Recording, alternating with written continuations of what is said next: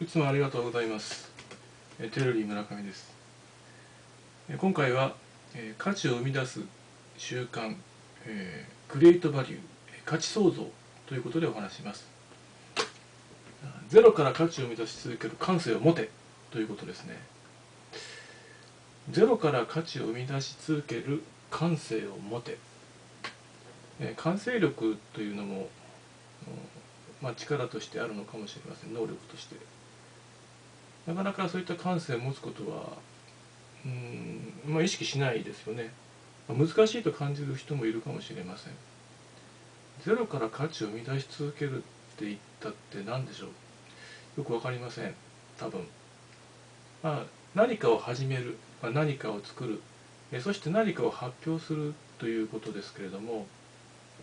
まあこれがですね、まあ、価値を生み出し続けるということだと私は考えます。うんまあいろいろ大きなことを考えたりするとまあ難しいっていうふうにも感じるかもしれませんけどもまあ全ては、まあ、あなたの恐怖不安を乗り越えることが重要なんです。うんまあ、何かを始めるとか何かを作るとか何かを発表するっていうのはそのその前段階で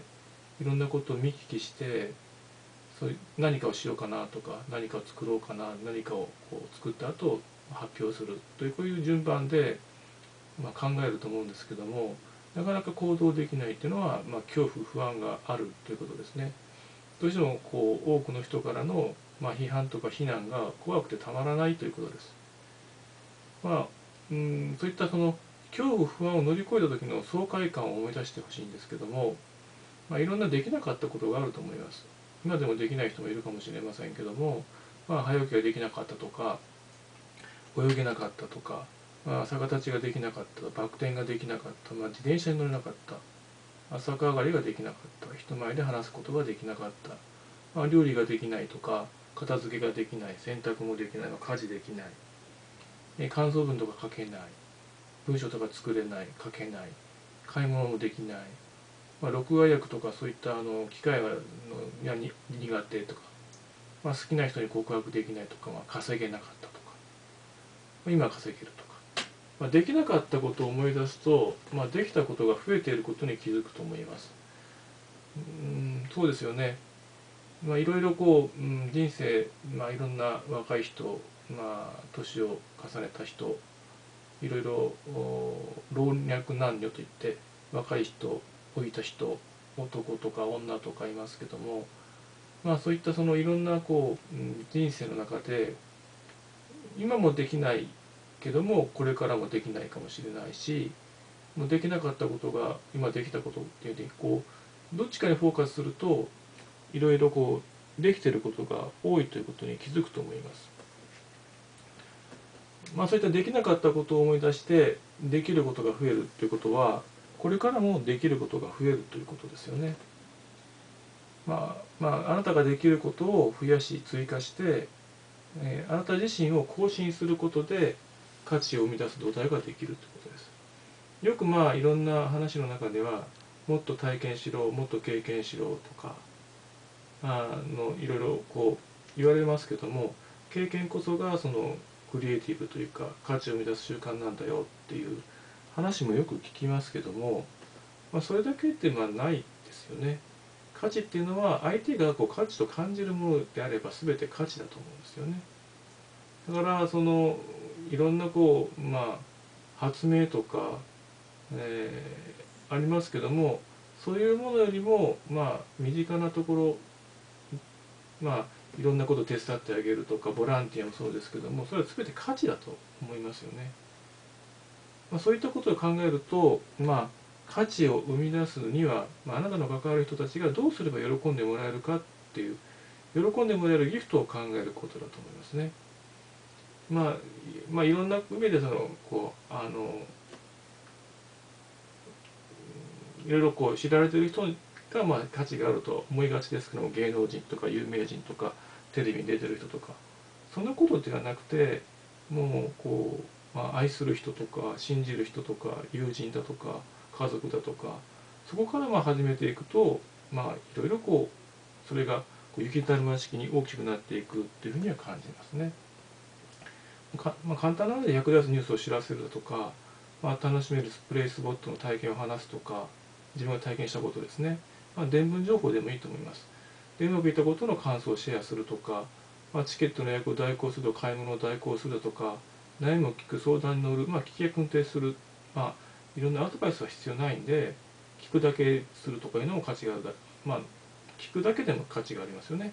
まあ、片付けを手伝うだとか面白い本興味深い本をレビューするとか縁結びの情報を知らせるとかまあいい人がいるよとか紹介するとか。まあいろんなことがこう価値として生み出すものとしてはいろんなこうヒントがあると思います、まあ、そういった体験のギフトを、えー、写真や動画を撮影したりまあ文章を書いて編集してレポートにするとさらにそのぐっとこう、うん、見えるようになってあの本当にゼロから価値を生み出したっていうこう自分の達成感にもなりますよね。そういったレポートというのも最新の情報とか最新のネタほど価値がすごく高いですよね。まあその体験だけでなくて、まあ、歴史いろいろこう今までの経緯とか歴史っていうのもこうそれに加えてこうレポートするとこう興味深いものになっていくと思います。まあ、そしてそれをこう毎日毎日習慣化する習慣にするということが、まあ、非常にこう、うん、面白い人生とか楽しい人生とか興味深い人生に変わっていくっていうことですね。あ、の QOL といってクオリティオブライフという、まあ、人生の質っていうのがありますけども